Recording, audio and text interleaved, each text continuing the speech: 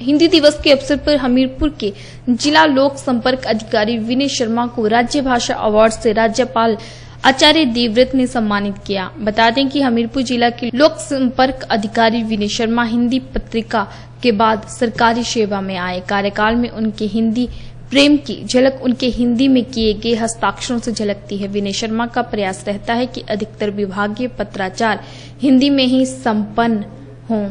अक्षर मधुर भाषीय विनय शर्मा का मन संचालन भी शुद्ध हिंदी भाषा में ही देखने को मिलता है।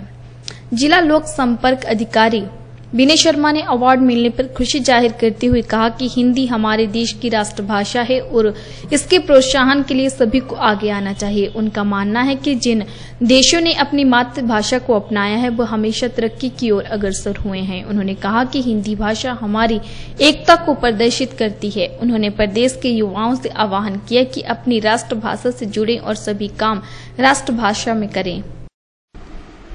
हिंदी हमारे देश की राजभाषा है और राष्ट्रभाषा है।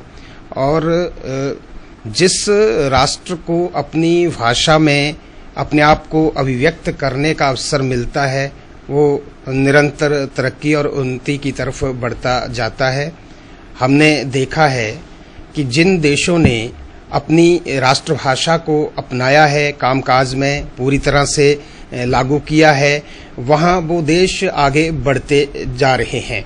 और हिंदी भी एक ऐसी हमारी एकता को प्रदर्शित करती है।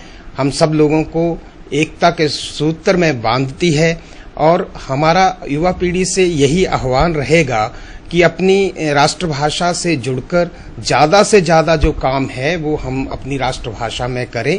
क्योंकि हमारे ग्रामीण परिवेश में जितने लोग रहते हैं, वो कम से कम हिंदी को समझ सकते हैं और हिंदी में अपने आप को अभिव्यक्त कर सकते हैं। इसलिए हमारा सबका दायित्व बनता है कि अपनी राष्ट्रभाषा के प्रति अपने लगाव को और राष्ट्रभाषा को अपनाकर जो है वो समाज को आगे ले जाने में अपना अमूल्य योगदान दें।